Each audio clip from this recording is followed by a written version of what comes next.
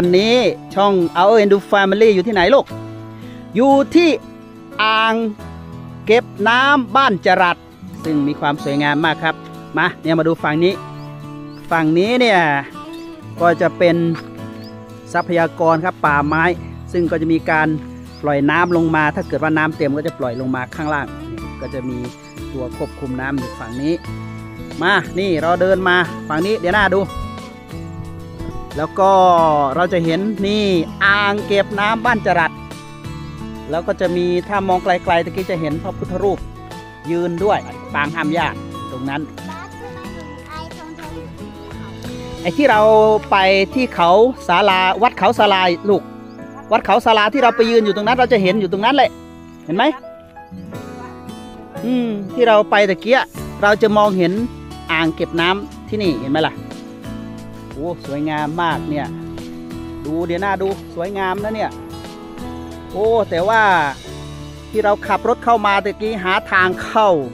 ยากนิดหนึ่งนะฮะ GPS สับสน ซึ่งเราก็ไม่รู้เหมือนกันว่าทำไม GPS มองไม่เห็นเนาะเดี๋ยวหน้าเนาะเออสวยงามนะบรรยากาศดี ใครที่มีบ้านอยู่แถวนี้นี่โหคิดว่าตอนเช้าเช้านี่มาเดินออกกำลังกายน่าจะดีมาก เพราะว่าบรรยากาศดีเนาะฝั่งนู้นโอ้เข้าได้ฝั่งสวยงามนะเนี่ย ดูสิโอ้สวยสวยไหมลูกมามาเราเดินมานิดนึงป้ามาดูต่อนี่สิอะไรอะอ๋อต้นไมยราบระวังมันบาดเท้านะโอ้สวยอะเดินมาเดินมา สวยงามมากโอ้นี่สวยงามครับเออบรรยากาศดีนะเนี่ยสวยงามโอเค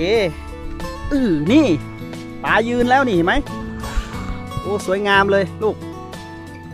นี่ฮะบรรยากาศดีมากสวยงามมาก เออบรรยากาศสวยงามจริง ๆ เลยอ้าวหันมาหันหน้ามาเนี่ยนะนี่สวยงามเลย สุดยอดมากๆนี่โอ้ไม่น่าเชื่อฮะเนี่ยว่าจังหวัดสุรินทร์ของเราเนี่ยจะมี สถานที่สวยงามแบบนี้ แต่ว่าหญ้านี่ข้างๆจะขึ้นเยอะขึ้นมานิดหนึ่งโอเคเนาะแต่ว่าแถวนี้เนี่ยเขาจะปลูกต้นยางพาราเยอะมาก ใครที่ขับรถเข้ามาเนี่ยอาจจะต้องเข้ามาช่วงตอนกลางวันเนาะถ้าช่วงค่ำๆนิดหนึ่งคือทางเข้าเนี่ยจะมีต้นยางพาราเยอะ อาจจะดูน่ากลัวนิดหนึ่ง เพราะฉะนั้นเนี่ยอาจต้องมาช่วงกลางวัน ยางพาราคืออะไร ยางพารา คือต้นยางพารา ยางพาราไงลูกอู้สวยงามมากเลยดูมาแล้วๆเดี๋ยวป้าจะเอาโดรนบินขึ้นนิดหนึ่งนะเนี่ย มาแล้วครับสวยงามมาก เดี๋ยวเราจะเอาโดรนบินดูภาพบรรยากาศมุมสูงนิดหนึ่ง เราจะเห็นภาพบรรยากาศสวยงาม แต่ว่าเราคงไม่บินไปไกลเท่าไหร่เราจะดูแค่บรรยากาศอย่างนี้ดูภาพมุมสูงขึ้นมานิดหนึ่งก็จะสวยงามมากโอ้นี่บรรยากาศดีเนาะลูกเนาะน่าชอบไหมลูกหนูชอบต้นไมราบมากกว่า วิวบรรยากาศนะลูกนะนี่ดูทำอะไรเออระวังบาดมือนะ จะบอกให้เป็นแผลใครรักษาหนู โอ้นี่ฮะบรรยากาศดีมากเดี๋ยว ถ่ายเก็บบรรยากาศให้ทุกคนครับ ที่ที่ไม่มีโอกาสได้มา นี่ฮะโอ้น้ำใสสวยงามบรรยากาศดีมาก ยิ่งวันนี้ฝนตก ตอนที่เราเดินมาเนี่ยอตอนที่เราเดินทางมาเนี่ยฝนตกนะฮะแต่ตอนนี้ฝนหยุดตกแล้วนั้นเนี่ยบรรยากาศก็จะสดชื่นมากหลังฝนตกนี่ฮะเดี๋ยวถ่ายบรรยากาศให้ทุกคนได้เห็นบรรยากาศกันโอ้สวยงามครับเนี่ยมีภูเขาล้อมรอบด้วยเออ ยิ่งถ้าเป็นบรรยากาศช่วงเช้าๆเนี่ยนะฮะคิดว่าหลายคนคงจะชอบมาก แล้วบรรยากาศช่วงเย็นๆเหมือนกัน บรรยากาศดีมากโอ้นี่ฮะสวยงามจริงสวยงามมาก แล้วเนี่ยฮะใครที่ชอบธรรมชาติอีกฝั่งหนึ่งนี่นะฮะก็จะมีต้นไม้ล้อมรอบเลย ใครที่ขึ้นไปไหว้พระไปทำบุญที่วัดเขาศาลา แล้ว ยืนอยู่บนหน้าผาเนี่ยเราจะพบว่า จะมีแหล่งน้ำซึ่งสามารถมองเห็นจากวัดเขาสาราได้ เพราะฉะนั้นเนี่ยถ้าใครมีเวลาและยังไม่รีบกลับก็สามารถที่จะแวะเข้ามาเยี่ยมชมบรรยากาศ ซึ่งก็จะเป็นอ่างเก็บน้ำที่ล้อมรอบไปด้วยต้นไม้และก็ล้อมรอบไปด้วยภูเขานี่ฮะ สวยงามมาก สวยงามจริงฮะอ่ามีบรรยากาศบัวด้วยสวยงามจริง อันนี้ก็จะเป็นที่ถ่ายภาพก็สำหรับนักท่องเที่ยวที่เข้ามาเยี่ยมชม ก็สามารถที่จะมายืนถ่ายภาพตรงบรรยากาศตรงนี้ได้นะฮะสวยงามมาก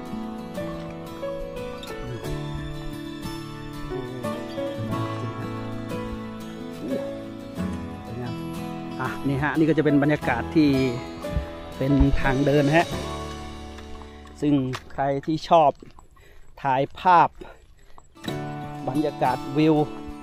โอ้ที่นี่ตอบโจทย์ครับ และใครที่ชอบออกกำลังกายนี่ช่วงเช้าๆเนี่ยสามารถที่จะมาเดิน แล้วก็วิ่งเบาๆฮะ สูบสูดบรรยากาศ ในช่วงของบรรยากาศเช้าๆเนี่ยโอ้บรรยากาศน่าจะดีมาก สุขภาพเราคงจะดีมากๆฮะโดยเฉพาะช่วงหน้าหนาวเนี่ยเดือนพฤศจิกายนธันวาจนถึงกุมภาเนี่ยนะฮะบรรยากาศน่าจะดีมากๆนี่ครับสวยงามมากบรรยากาศดีมาก เหมือนบรรยากาศทางภาคเหนือเลยนะฮะ ราะฉะนั้นเนี่ยใครที่เป็นเจ้าของพื้นที่อยู่ในจังหวัดสุรินทร์เนี่ยควรจะมาสักครั้งนะฮะใครที่ยังไม่เคยมาก็น่าจะหาโอกาสมาสักครั้งนะฮะมาชมบรรยากาศของดีดีๆที่อำเภอบัวเชษนะฮะจังหวัดสุรินทร์ไม่ไกลจากวัดเขาสาลาเท่าไหร่ ซึ่ง ก็สามารถที่จะแวะเข้ามาได้นี่ครับโอ้สวยงามมากครับ เดี๋ยวเราจะเอาโดรนบินดูภาพบรรยากาศ ให้ทุกท่านได้รับชมกันฮะเราจะได้เห็นภาพ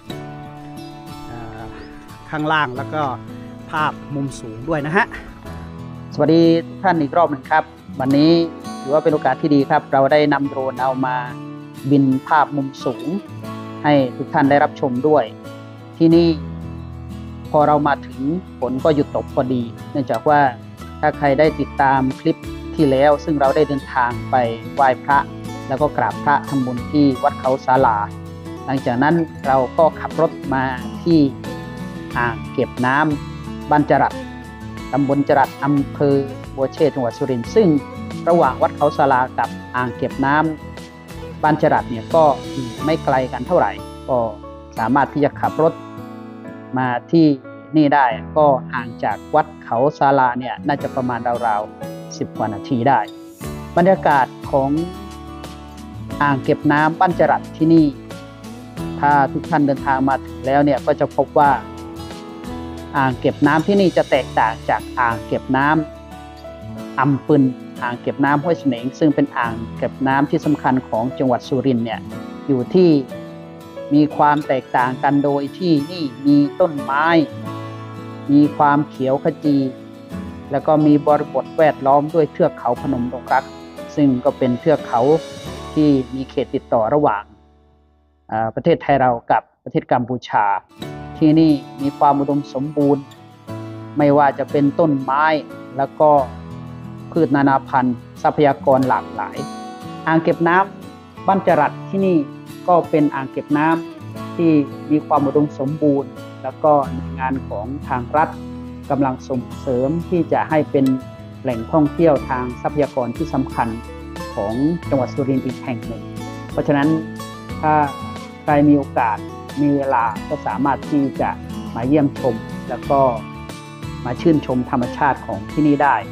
ที่นี่ถ้าเกิดว่าใครจะเดินทางมาเที่ยวชม ก็จะมีกิจกรรมต่างๆ ซึ่งสามารถที่จะประสานงานกับหน่วยงานของทางรัฐได้ ไม่ว่าจะเป็นอบต แล้วก็หน่วยงานที่เกี่ยวข้อง ซึ่งสามารถที่จะท่องเที่ยว ไม่ว่าจะเป็นเรื่องของการจัดกิจกรรม การรับประทานอาหารที่เป็นอาหารท้องถิ่น ซึ่งก็สามารถที่จะติดตามข่าวสารข้อมูล แล้วก็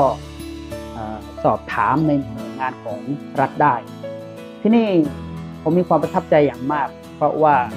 เมื่อเราโดรนบินขึ้นสูงเนี่ยเราจะพบว่าธรรมชาติของอ่างเก็บน้ำที่นี่ก็จะแวดล้อมไปด้วยต้นไม้นานาชนิด แล้วก็เทือกเขาพนมดงรักเนี่ยก็จะแวดล้อม ซึ่งก็จะทำให้มีความสวยงามมาก ที่สำคัญที่สุดถ้าเรายืนอยู่ที่นี่แล้วเราแงนหน้าขึ้นมองไปทางเทือกเขา ที่วัดเขาศาลาโดยเฉพาะอย่างยิ่งตรงผานางคอยเนี่ยเราจะพบว่าจะมีพระพุทธรูปนาคปรกตั้งตระหง่านให้เราเห็นเห็นชัด หรือใครที่อยู่วัดเขาศาลาเนี่ยยืนตรงผานางคอยแล้วหันมาทางอ่างเก็บน้ำเนี่ยเราก็จะพบว่าอ่างเก็บน้ำเนี่ยมีความเว้า มีความโค้งแล้วล้อมรอบไปด้วยต้นไม้นานาชนิดเนี่ยก็ทำให้ ที่นี่ความงดงามธรรมชาติ และที่สำคัญที่สุดก็ทรัพยากรต่างๆเนี่ยโดยเฉพาะความอุดมสมบูรณ์ แล้วก็ไม่มีสิ่งก่อสร้างมากมายเนี่ยก็เลยทำให้ที่นี่มีความสดชื่น มีความอุดมสมบูรณ์ มีความงดงามด้วยธรรมชาติล้วนๆเพราะฉะนั้น โดยเฉพาะอย่างยิ่งในช่วงบรรยากาศช่วงเช้าๆ และช่วงเย็นๆเนี่ยจะเป็นบรรยากาศที่น่าออกกำลังกายแล้วก็ เป็นบรรยากาศที่เราสามารถที่จะมานั่งทำกิจกรรมกับครอบครัวดูธรรมชาติ แล้วก็สูดบรรยากาศที่มีความอุดมสมบูรณ์ มีความสดชื่นได้อย่างเต็มที่ ก็ที่นี่เป็นความประทับใจอีกแห่งหนึ่งของจังหวัดสุรินทร์เพราะฉะนั้นอยากจะเชิญชวนหลาย ๆ คนที่ดูคลิปนี้แล้ว หรือใครที่ยังไม่เคยเดินทางมาที่นี่ก็สามารถที่จะเดินทางมาเยี่ยมชมได้ ที่นี่เราสามารถที่จะเดินตามขอบ อ่างเก็บน้ำแล้วก็ดูบรรยากาศ ดูธรรมชาติ ดูต้นไม้นานาชนิด ซึ่งก็เป็นความสวยสดงดงามที่อยากจะ